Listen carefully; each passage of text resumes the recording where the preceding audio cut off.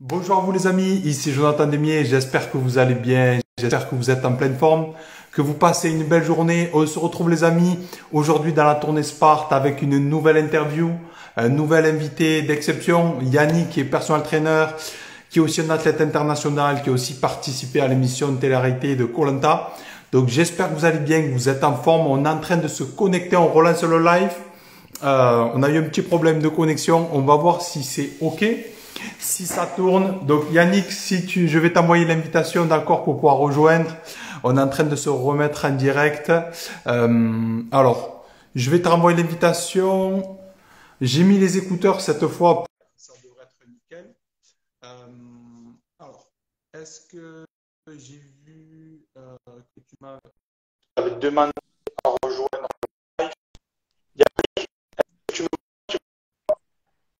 Je t'entends, mais ça, ça a le même problème. Est-ce que tu vois bien toi? Moi, je te vois très bien. Le son, le problème? Ouais, c'est le son le problème. Euh, tu as, toi, tu as un Wi-Fi ou un 4G à tout hasard? Je suis en 5G.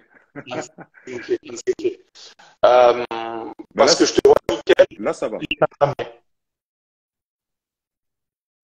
Ok. Tu m'entends bien Ouais. Ça va? Ça va. Ok. Écoute, on va faire avec. Bon, ben, je suis désolé, ça fait, un problème. Bon, J'espère que ça va aller pour, euh, pour, euh, pour ce petit live.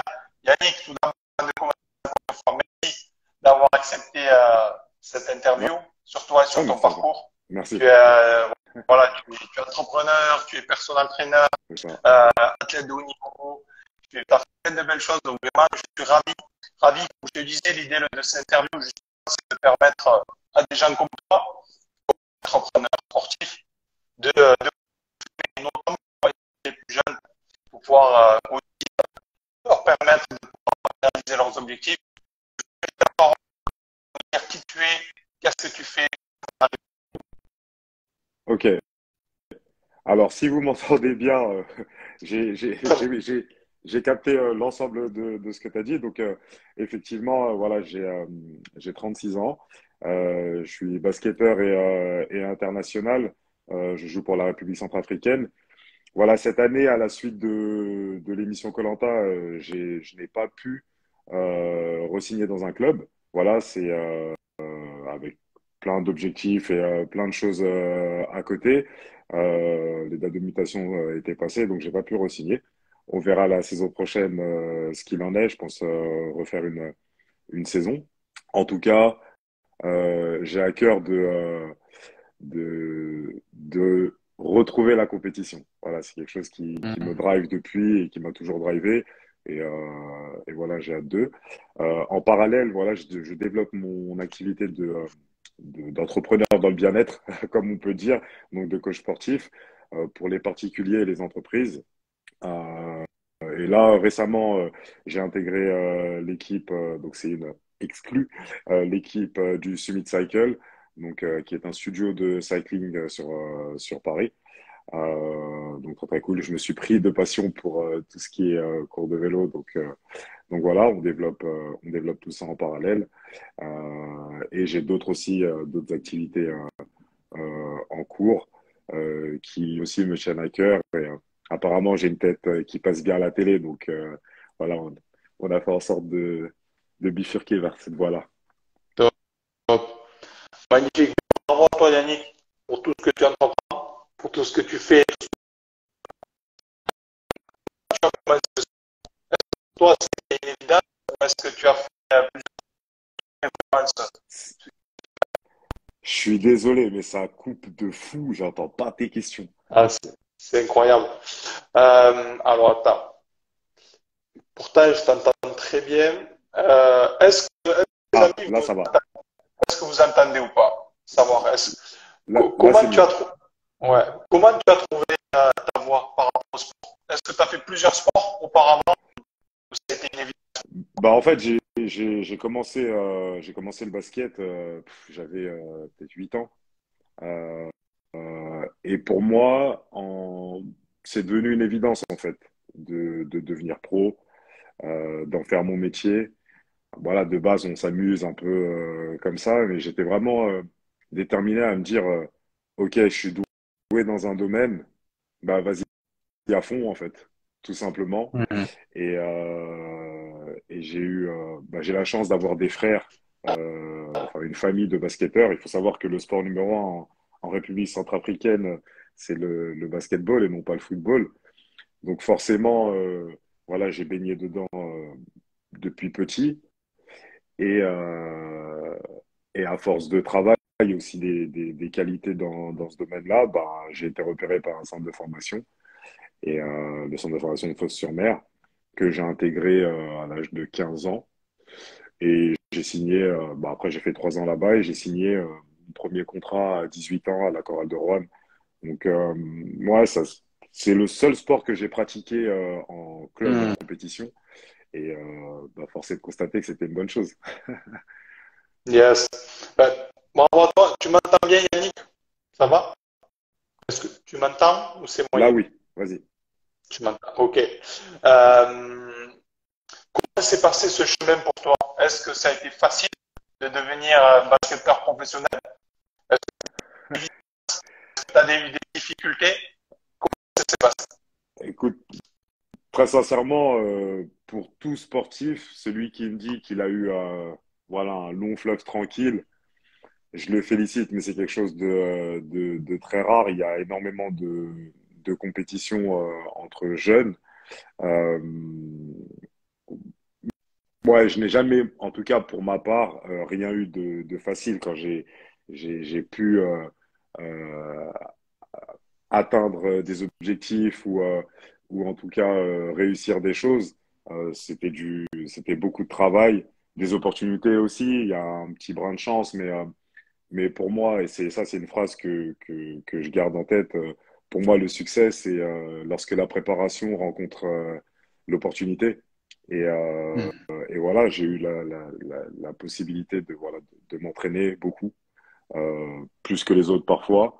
Et jusqu'à ce que bah voilà, cette, euh, cette petite opportunité euh, arrive, tu la saisis et derrière, ça donne quelque chose de, de gros. Et je peux dire que je peux appliquer ça à, toute ma vie, à tout ce que j'ai pu, euh, tout ce que j'ai pu faire. Donc, euh, non, c'est, ça fait euh, maintenant plus de 20 ans euh, que, que je pratique le basket à haut niveau. Et, euh, et non, c'est, c'est pas simple. C'est beaucoup de kiff, beaucoup de sacrifices, mais beaucoup de travail. Voilà.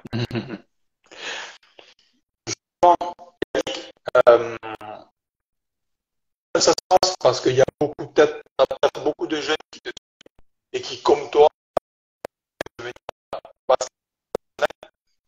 Euh, si tu as partager aujourd'hui, avec le recul, qu'est-ce que tu peux leur dire? Si j'avais, alors si j'avais quelque, euh, j'ai, j'ai entendu partager, mais j'ai pas entendu le début de ta phrase. Si tu avais deux, trois conseils à donner, à partager pour les plus jeunes aujourd'hui, qui, comme toi, aimeraient être professionnels, qu'est-ce que tu aimerais leur partager? Euh, alors, dans un, ce qui, elle est particulière cette question parce que euh, c'est, propre à mon expérience et chaque expérience est différente. Euh, le- l'environnement dans lequel tu évolues euh, est différent aussi. Merci Dom, je vois les, les commentaires de certains qui suivent. Un ami, bah, le frère de, Pascal Gentil, Dominique Gentil, qui est aussi un basketteur ami, qui dit que j'étais un gros bosseur, donc effectivement c'est le cas. Ça c'est le premier conseil que, que, je donnerais, travailler énormément, euh, plus que les autres. Toujours se dire que il y a Mhm. quelqu'un un- une personne qui a le même objectif que toi, qui va peut-être euh, là pendant que tu es à la maison en train de te poser, et, et lui sur un terrain ou euh, dehors en train de courir en salle de muscu, qui travaille ses, bah, dans le cadre du basket, ses dribbles, son tir, voilà, qui, qui, qui fait tout ce travail que, bah, que tu ne fais pas forcément et qui lui y arrivera. Donc euh, euh, ça, c'est le premier conseil que, euh, que je donnerais, beaucoup travailler. Le second, dès lors que tu as un objectif, ne lâche pas, en fait. Garde-le pour, pour toi et, nourris-le au fur et à mesure. Euh, c'est malheureux, mais l'environnement dans lequel on, on évolue beaucoup de personnes vont te dissuader de faire ça, vont te dissuader de faire X, Y chose, et, et ça, va, ça, ça peut t'impacter. Donc, réellement se blinder, croire en, dans un premier temps ses rêves et faire en sorte que ces rêves deviennent des objectifs. Euh, et vraiment, vraiment, vraiment pousser le truc à fond, à fond, à fond, à fond.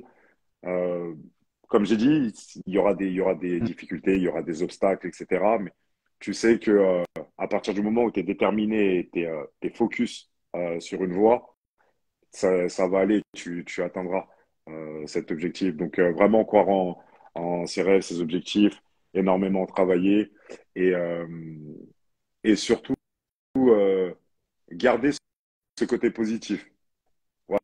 Voilà, c'est une base. C'est une base dans tout. Le, basket, c'est un sport, euh, c'est un sport où il y a énormément d'échecs. On rate des tirs, on perd des ballons, on perd des matchs, on tente beaucoup pour peu de réussite.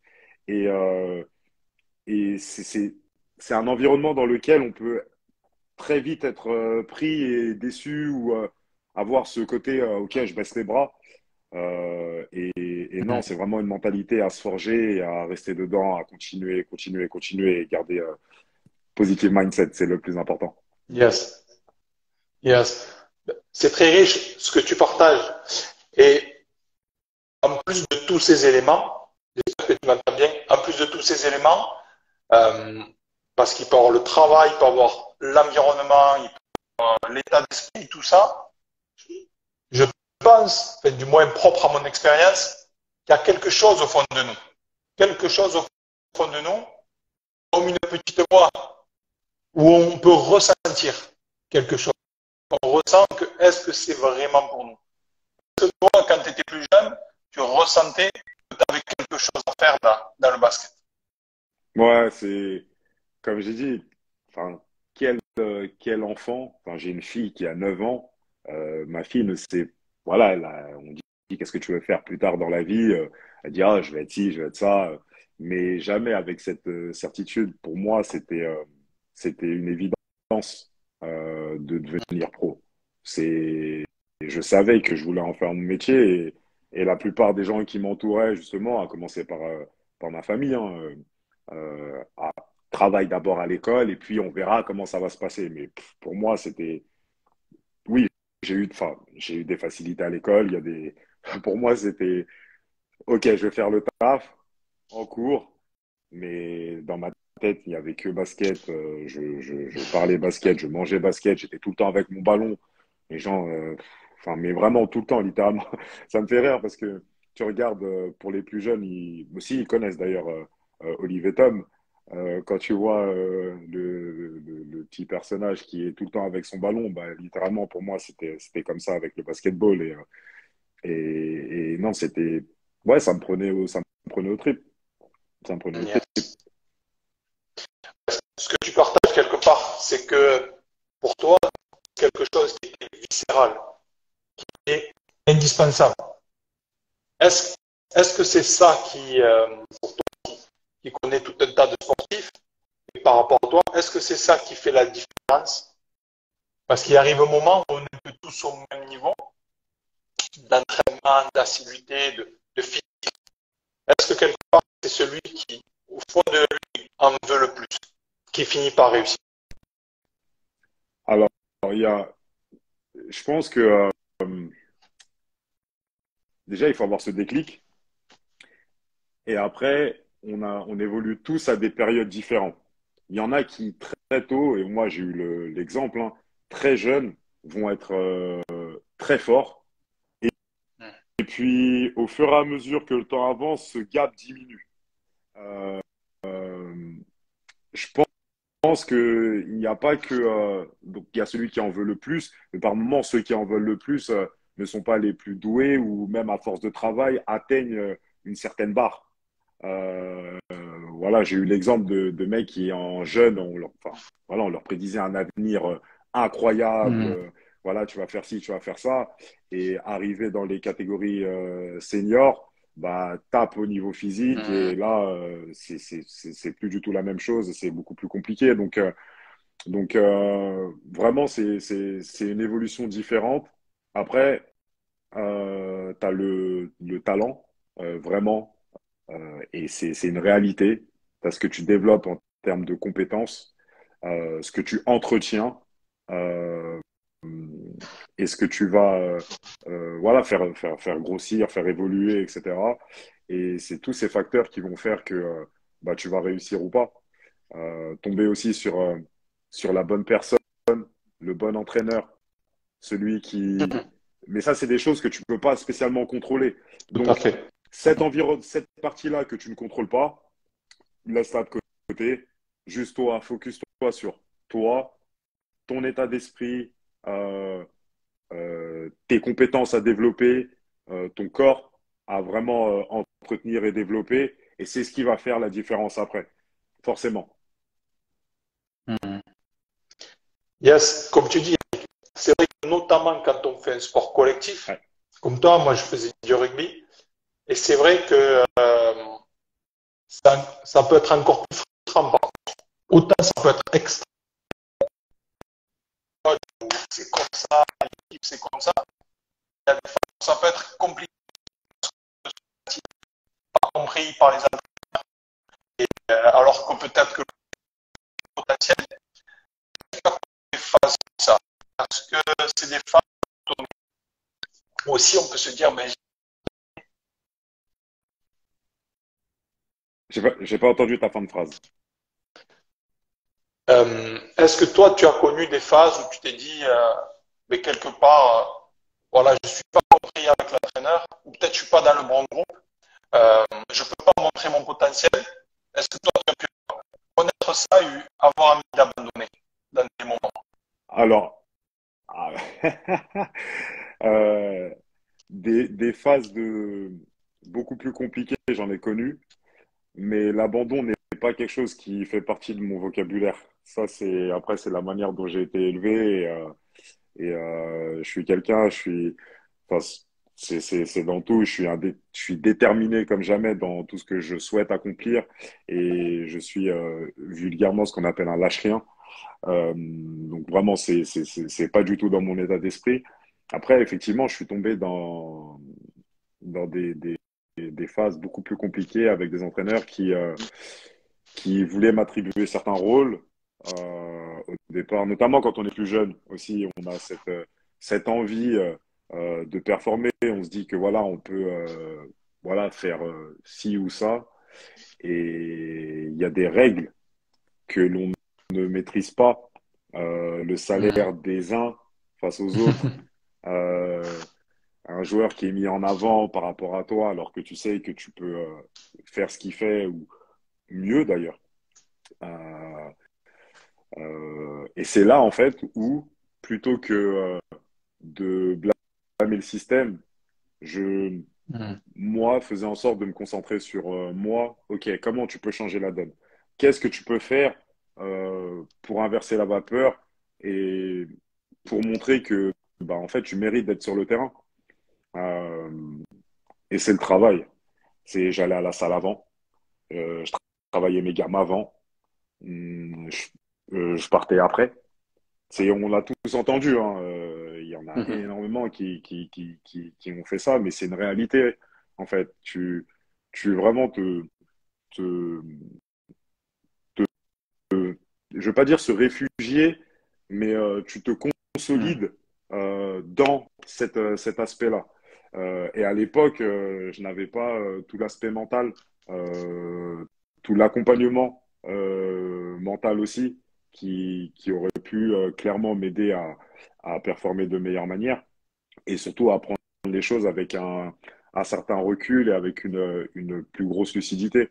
Mais voilà, c'était vraiment dans le travail. Et puis le moment où il dit, OK, il n'a pas le choix, il y a des blessés, il te met sur le terrain. Et. Et ben, quand il te met sur le terrain, tu, tu pètes tout. Et euh, là, il dit, ah, OK. Et il y, a il y a forcément des gens qui regardent. Ouais, j'ai vu que tu avais fait ce Mhm. match-là. Ah, et derrière, bah, cette opportunité en amène une autre et ainsi de suite. Et, et toujours être dans cette, euh, dans ce cercle vertueux. Voilà. Yes. Exact. Pour ce que partages, c'est très riche, que tu viens de dire. C'est vrai qu'un sport individuel, qu'on soit artiste ou qu'on soit individuel, c'est différent. Comme tu l'as bien dit, dans un sportif, il y a, voilà, il y a un certain ego des entraîneurs parfois, il y a une certaine lien de l'équipe, etc., des préférences. Ça, ça fait partie du jeu, comme tu une chose très importante. C'est ultra compliqué au niveau du son là et du. Et de la ouais, vidéo, je te, je te vois pas trop, Yannick. Est-ce que, est-ce que toi, tu as la possibilité de passer en, en Wi-Fi ou pas, à tout hasard? Euh, Écoute, je vais essayer. Au cas où. Là, tu m'entends ou pas? Ouais, je t'entends bien là. Je t'entends bien. Ok. En fait, par moment, c'est bon. Et à d'autres, euh, ça bug un peu. Bon. Je sais pas. En tout cas, euh, c'est un bel échange. Tu m'entends, toi, Yannick, là? Ouais, là, Terminer le petit interview. Là, je t'entends. Yes. Là, je t'entends. Bon, tu disais quelque chose de très important, c'est que tôt ou tard, finalement, ta valeur, elle va être reconnue.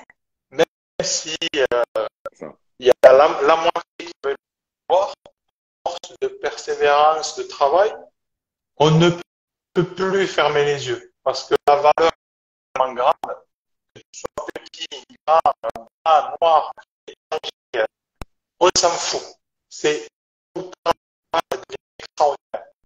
Et je pense que sur ça qu'il faut se concentrer pour faire véritablement sa place et la différence. Où là, tu deviens indispensable. C'est ça. C'est exactement ça. Euh, à un moment donné, tu as atteint un certain niveau euh, qui qui saute aux yeux des gens, qui saute aux yeux des entraîneurs, euh, qui euh, bah ouais fait fait cette différence clairement. Euh, et comme j'ai dit, la personne qui bah, ne te met pas sur le terrain ou en tout cas ne donne pas cette chance-là, d'autres regardent, d'autres voient ce que tu es, ce que es capable de, de faire, de donner. Euh, Il y a des entraîneurs qui ont misé sur moi, qui m'ont donné euh, euh, ma chance. J'ai pu leur rendre et ça, ça a lancé, euh, ça a lancé euh, ma carrière dans, dans certains moments. Actuellement, maintenant aussi, des gens, euh, des gens croient en moi, des gens investissent sur moi et se disent ouais, il, il est fait pour ça, il est capable d'eux et, et ça va, ça va péter. Voilà. Il faut juste faire sa part. Et ma part, c'est euh, euh, le travail, garder ma passion intacte, euh, mon envie, toujours faire en sorte d'être dans, dans ce, dans ce cercle vertueux, comme j'ai dit. Et, voilà, il y a plein de choses qui arrivent de toutes parts. Comment tu fais pour te blinder et pour faire en sorte de, de, bah, de, de briller, tout simplement. Hmm. Ce que tu partages, c'est très fort. Euh, très fort. J'espère que dans le, replay, ça sera intact pour le son. Euh, justement, c'est ça qui est intéressant. Que tu partages pour les gens qui commencent à réussir, quel que soit le domaine. C'est-à-dire arriver à ne pas euh, se laisser euh, transpercer ou être évasif. Parce qu'on peut être attiré après partout qui brille. Et ça, ce que tu partages là, c'est riche par l'expérience, en fait. Cette expérience qui nous apprend à, à rester focus sur nous-mêmes. Parce que, parce que sinon, on peut oublier un peu de faire ce que l'on doit faire. C'est ça. Si on te dit toujours tu brilles, tu brilles, on finit par être plus faible, à se dire bon, je brille, alors j'ai plus besoin de forcer. Alors que la différence des vraiment des champions, c'est ils restent prêts. Ils restent prêts. Ça tombe, il y a des opportunités où il n'y en a pas, ils restent prêts. Toujours. Toujours, toujours, toujours. Yannick, pour terminer, euh, parce que c'est les moyens, si tu avais une dernière chose à partager, euh, tu, tu as fait, tu fais beaucoup de choses déjà. Si tu pouvais laisser une phrase ou une idée que tu aimerais transmettre dans ta vie, qu'est-ce que tu aimerais partager? Euh, croire en soi, ses rêves et savoir que euh, tout ce que l'on met en place, tous les sacrifices que l'on a pu faire, que l'on va faire, euh, aboutiront à quelque chose. C'est euh, ouais, garder, garder cet, état d'esprit, quoi qu'il arrive, le, le chérir et, et le garder près de soi. C'est, c'est, c'est, ça peut paraître euh, euh, égocentrique ou peut-être euh, individualiste ou autre, mais ce qui importe, c'est nous. Ce qui, ce qui importe, c'est c'est notre réaction face aux choses, nos actions face aux choses et, et surtout